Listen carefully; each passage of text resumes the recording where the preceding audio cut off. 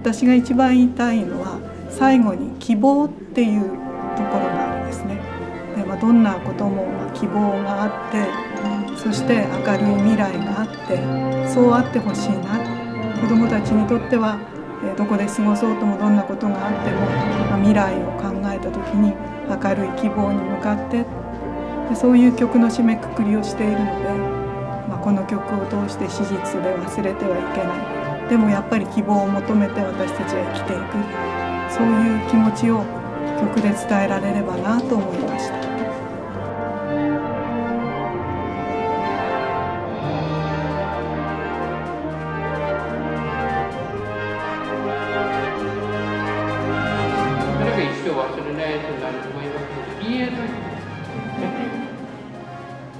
泣かないで頑張るね。先生も泣かないで頑張ります。いろんなことがあってそれでも頑張って頑張ってやってきて音楽って素晴らしいな。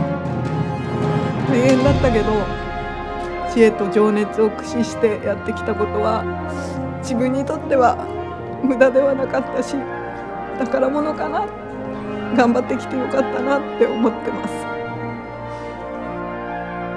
きっ。とこれからもなんか頑張っていくような気がします。見上げた空に一筋の白い階段。